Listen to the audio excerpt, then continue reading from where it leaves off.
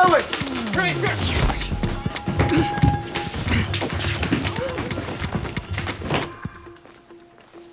Hey, where's Jisung?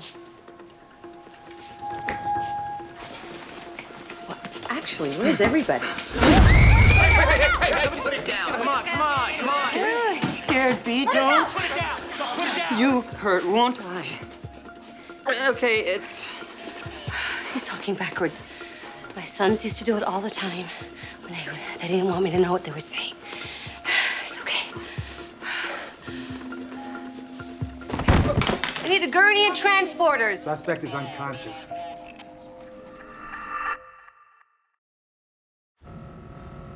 We're all done, Sam. Come on in. You're gonna bring him in here? Do you want me to call security? No. You trust him? I do. He was terrified. Can you imagine how hard it must be for him?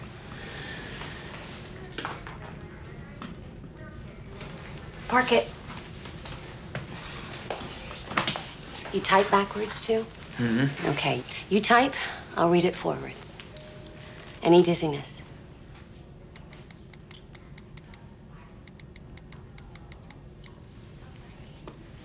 No, just hungry and you have pretty eyes. Okay, thank you. Stay on point.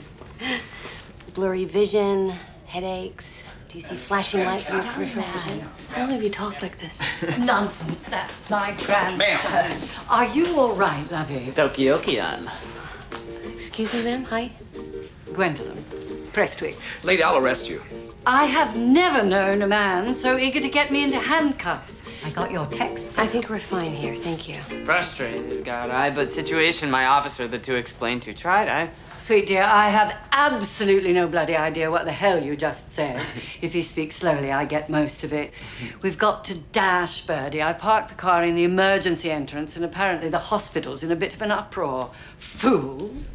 Don't forget your things. Excuse me? I'm Dr. Panttiere. I'm sure you are. Um, Sam knows he's not supposed to speak in public. When you talk to people, darling, they think you're off your trolley. Yep. I was running some few tests on Sam. I'd like to ask a couple of questions. I'm sure you would.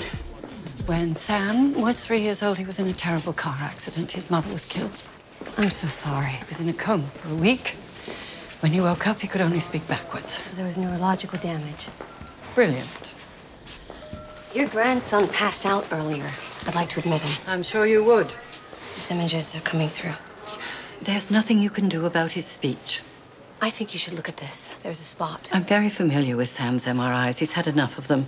That's where he sustained permanent damage as a result of the automobile accident. I've seen it many times. Okay, that would explain why his speech was affected, but that's not the area I'm referring to. This is. You see that bright spot? You ever seen that on any of his MRIs before? No, that's new. What is it? Serious, is it? Let's find out. Die, could I? Not on my watch.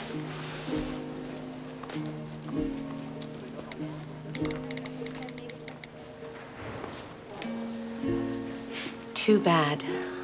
I don't want to live like this anymore. Thank you, everyone, for coming. This is Dr. Konjo. We met in Kenya last month. Welcome. Thank you. Nice to meet you. Good to see you again. Good to see you. So, this is my patient, Sam. He's 24. He had a car accident when he was three and sustained permanent damage to his Broca center, which of course affected his speech, which is what causes him to speak backwards. But the damage to Sam's speech is a separate issue from what was discovered on his MRI yesterday. Oh, yesterday. cerebral aneurysm. It's most likely an incidental finding. yeah, I'm going to ligate the aneurysm by placing a clip at the base, since it's not amenable to endovascular coiling. Well, that's standard protocol, but I suspect that's not why we're here. No, it isn't. Dr. Konjo and his team have been injecting stem cells into every possible organ, including the brain. Yeah, that's not going to affect your patient's aneurysm. No, but it could affect his speech. What are you proposing, Alex? I'm proposing we help a young man who doesn't want to live like this anymore. We have to operate on him anyway because of the aneurysm. So while we're in there, why not take the opportunity to infuse stem cells directly into the tissue that was damaged when Sam had the accident? Because it's never been done before. Am I correct about that? Sort of. I have been injecting bone marrow derived stem cells into a few dozen patients who have had brain trauma due to stroke. In the majority of cases, the patients have completely recovered their motor skills and speech. Need I ask the next question, Dr. Panttiere? Since this has never been done before, the long term repercussions are unknown. Brain tumors, incapacitation. So if you perform this procedure, there's a good chance the patient could end up in a vegetative state. So the chances are you've always had this aneurysm. The procedure is fairly standard. We put a brain clip at the base to stop it from growing. And then you will inject him with these stem cells. Yes, it's one of the most promising new. Please. Have you any idea how many doctors have wanted to try out their newest toys and procedures on my Sam? I understand your concerns, but My grandson is not a guinea pig. Grandma. This won't die. No, this you do not want. Yes. Decide I. You're right, Sam. You can decide. But if you go through with this, you'll do it without me. I can't watch you go through another procedure that will break your heart. I would never recommend to do this procedure if I hadn't seen the result. That's the second time someone's done that to me today. Perhaps a little self reflection might illuminate why. Ducky, I have been taking my grandson to doctors ever since the accident, and all of them have promised a cure. Yet here we still are. Just fix the aneurysm and be done with it. That boy has lived his whole life with only me to talk to. And look what it's done to him. Sam goes through these periods of frustration. It's only natural. But he has to learn to be strong and accept who he is. I wish you could cure him, but you can't.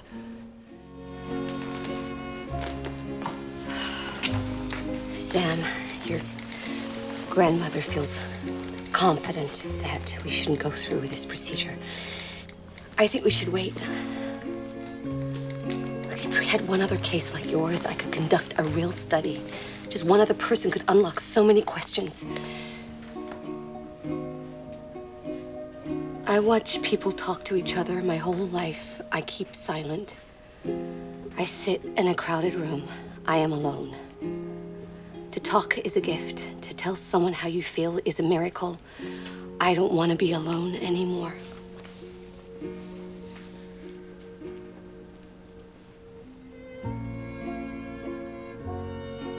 I want what you have.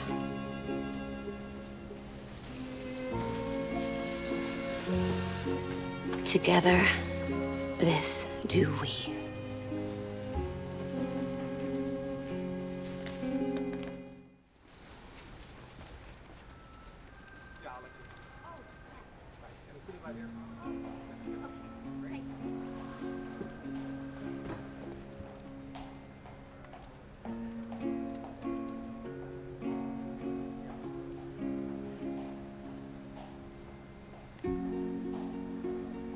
When he was little, I used to take him traveling. He couldn't go to a normal school. He had special tutors. So I could take him away whenever we both felt we just needed a break.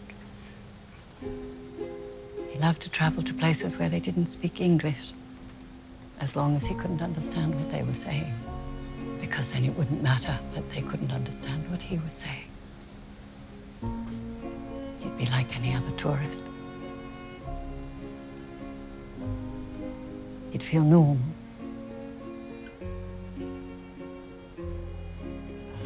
It wasn't your fault, Grandma.